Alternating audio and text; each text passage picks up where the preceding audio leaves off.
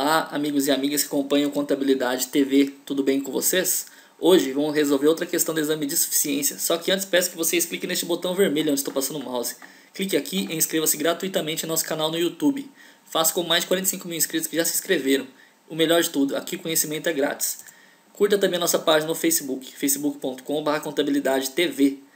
E siga no Instagram, arroba contabilidade TV e.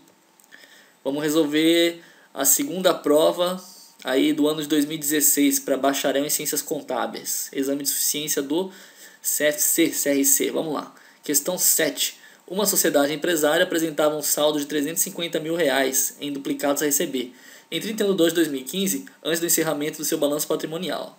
Ao proceder à mensuração do valor recuperável dessas duplicados a receber, a empresa estimou uma perda de valor recuperável de R$ 10.500. O lançamento contábil da constituição dessa perda estimada será Aí a letra A fala que é um débito em perdas estimadas com contas a receber, né, despesas comerciais, valor de 10.500, e um crédito em perdas estimadas com crédito de liquidação duvidosa a clientes, no valor de 10.500.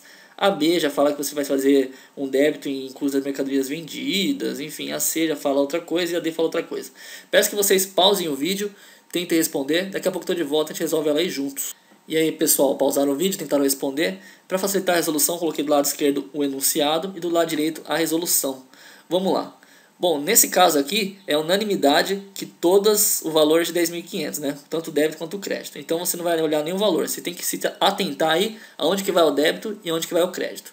Bom, ele falava que uma sociedade empresária apresentava um saldo de 350 mil reais em duplicados a receber, né? Então tinha ali uma conta de duplicados a receber em 31 de 2015, e antes do encerramento do seu balanço patrimonial. E ao proceder à mensuração do valor recuperável dessas duplicados a receber, a empresa estimou uma perda no valor recuperável de R$ 10.500.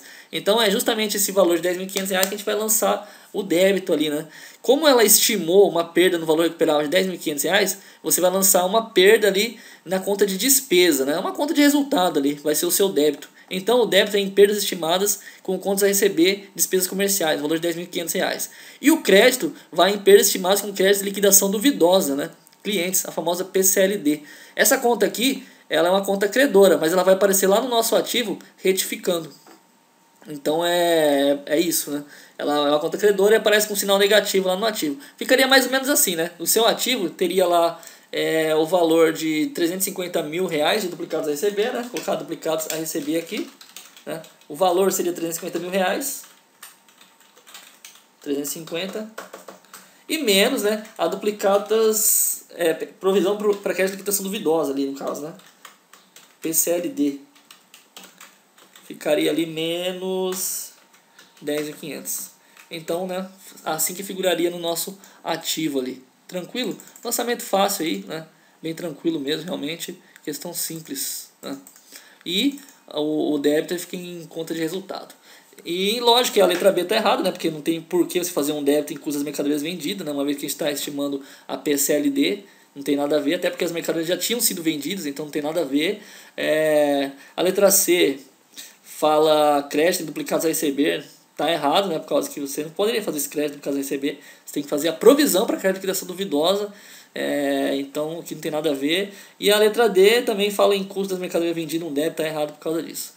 Sobra unicamente a alternativa A. Se ainda assim ficou alguma dúvida, mande um e-mail aí para contabilidadetv.com. Vou ter o maior prazer em responder. E vamos até para a próxima questão. Vamos resolver a próxima. Valeu! Compartilhe os vídeos nas redes sociais. Vamos juntos continuar a resolução do exame de suficiência 2016, prova 2, bacharel.